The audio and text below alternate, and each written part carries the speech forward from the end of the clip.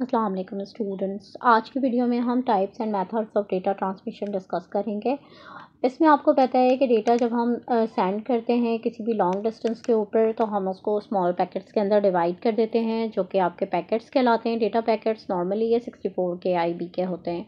ये काफ़ी small packets होते हैं और इसकी वजह यह है कि बहुत आसान है इसको कंट्रोल करना स्मॉल पैकेट्स में data over long distance and इसके अलावा आराम से जो है वो डिफरेंट रूट से ये डेटा पैकेट्स जो हैं वो अपने डेस्टिनेशन तक पहुँच सकते हैं। यहाँ पर हम, इसके अलावा हम डेटा पैकेट्स जो इसका डिसएडवांटेज है वो ये है कि केयरफुली हमें कंस्ट्रक्शन करनी होती है डेटा पैकेट्स की और एरर डिटेक्शन मेथड हमें कोई रखना पड़ता है कि रीअसेंबल हो सके ये डेस्टिनेशन पे।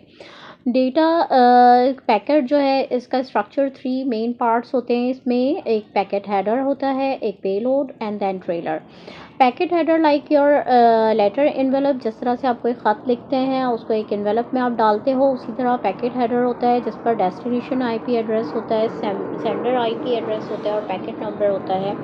यानी अगर फॉर एग्जांपल पैकेट जो है वो फाइव पार्ट्स इसके हुए हुए हैं तो वन ऑफ़ फाइव यानी कि ये फ़र्स्ट है पेज फाइव पेजेस का अगर एक कंप्लीट आपका डॉक्यूमेंट है।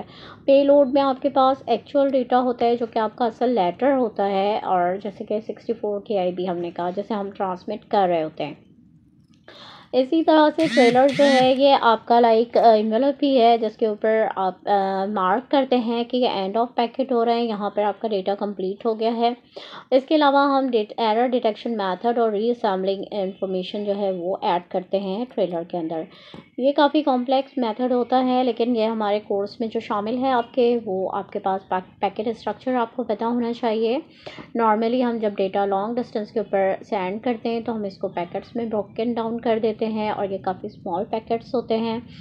पैकेट uh, जो है तीन इसके मेन स्ट्रक्चर पार्ट्स होते हैं packet header payload and trailer packet header में sender IP address destination IP address and packet number होता है। पेलोड आपका एक्चुअल मैसेज होता है और ट्रेलर में आप मार्क करते हो end of packet and error detection method तो ये काफ़ी कॉम्प्लेक्स स्ट्रक्चर होता है, जिसको हम सिंप्लीफाई करके यहाँ देख रहे हैं। Packet sequence number source IP address destination IP address source MAC address destination MAC address data and error detection method and उसके बाद रीअसेंबलिंग मेथड ऑफ़ डेटा कि how you can make sure your data correctly arrive at the destination and how data will be reassemble आपका किस तरीके से reassemble होगा? उम्मीद है कि आपको ये टॉपिक आराम से समझ में आ गया होगा आसानी के साथ।